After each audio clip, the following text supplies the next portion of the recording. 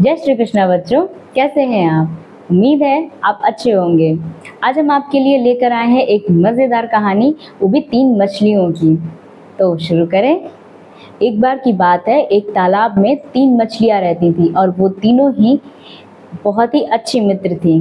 जिनमें से एक का नाम अनागत विधाता, दूसरी का नाम प्रत्युन्नमति और तीसरी का नाम यति भविष्यति था। जिसमें से अनागत विधाता, जो हमेशा सही तरीके से तुरंत निर्णय लेकर के समझदारी से काम करती थी।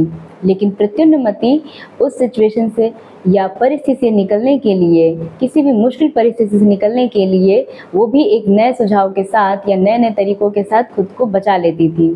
लेकिन यदि भविष्य थी, जो हमेशा अपनी किस्मत के भरोसे बैठी रहती थी तो एक बार की बात है, यदि भविष्य अनागत विधाता ने एक बार अपने तालाब के किनारे बैठे दो मछुआरों की बातें सुनी।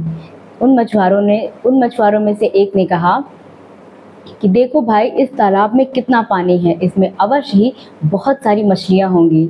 हम अगले दिन अपना जाल लेकर आएँगे और इस तालाब की सारी मछलियाँ पकड़ लेंगे।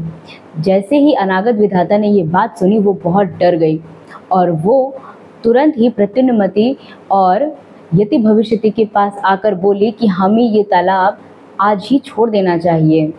क्योंकि मछुआरे कह कर गए हैं तो हो सकता है कि वह कल अवश्य आए।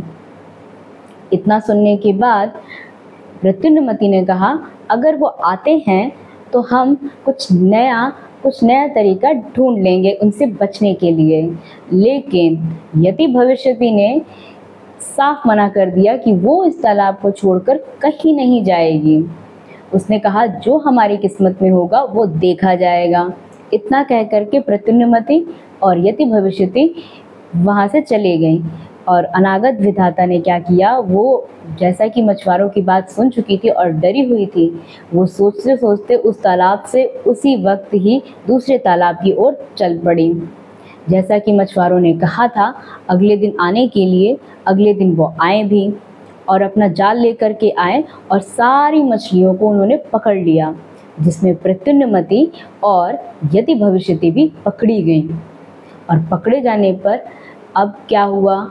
ये कि प्रत्युन्नमति ने जब देखा कि वो बहुत मुसीबत में है, अब इन मछुआरों के हाथों मारी जा सकती है तो उसने तुरंत ही एक नई तरकीब सोची और मरने का नाटक किया। तो जब मछुआरे ने देखा कि जाल में उसने एक मरी हुई मछली भी पकड़ी है तो उसने प्रत्युन्नमति को उठाकर पानी से, उठाकर जाल से पानी में फेंक दिया।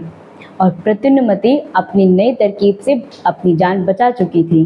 अब बारी थी यति भविष्यति की, जो कि किस्मत के ही भरोसे बैठी रह गई और तड़प तड़प कर मछुआरे के जाल में मारी गई। तो ये कहानी हमारी यहीं पर ख़त्म होती है। इस कहानी से हमको ये शिक्षा मिलती है कि हमको हमेशा निरंतर काम करते रहना चाहिए।